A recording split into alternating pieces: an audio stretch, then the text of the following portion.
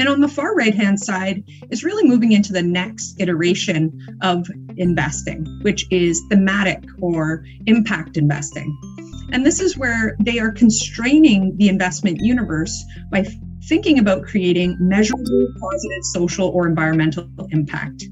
And what we see here is a focus on values first, with a focus on value second. So ESG integration is focused on maximizing risk adjusted returns, whereas SRI and thematic or impact investing are very much so willing to compromise returns by screening out certain sectors or companies from the investment universe to achieve alignment with their values.